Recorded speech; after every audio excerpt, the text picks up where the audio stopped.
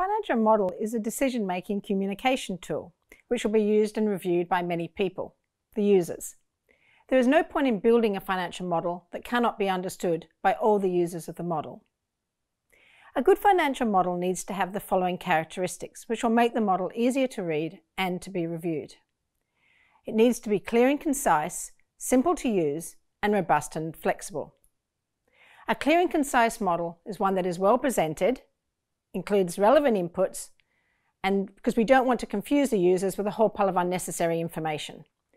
It needs to be simple to use and it needs to be transparent, which will assist the review process and most importantly, make mistakes easier to be identified.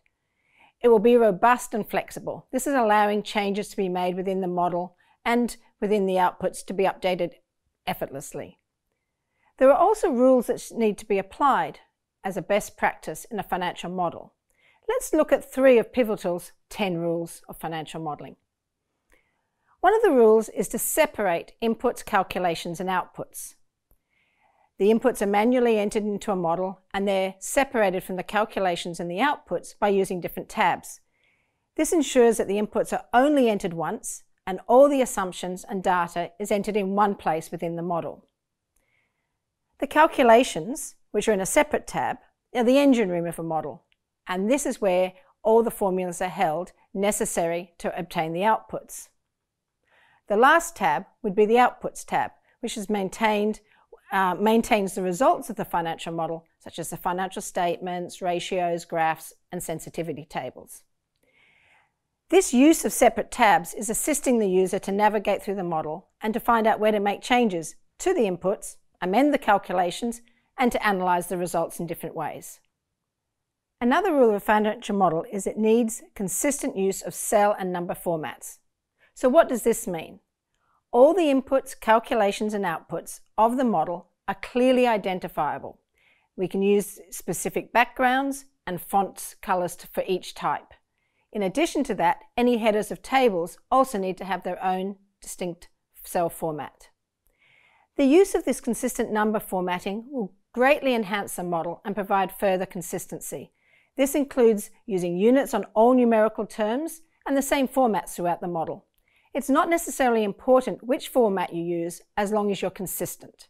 For example, a zero could be formatted in a cell as a dash, a zero, or even a blank.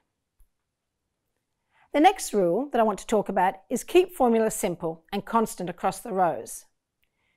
To ensure the model can be understood by every level of user, it's important not to overcomplicate the calculations within the model. The simpler the calculations, the more clearly it can be read and reviewed.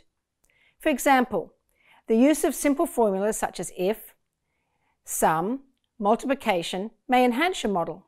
On the other hand, use of formulas such as offset, index match, and VLOOKUP may add an unnecessary complexity. A financial model, again, is going to be used for decision making by many different levels of users. By keeping things simple and following these basic rules, it'll be a much easier for other people to understand your work.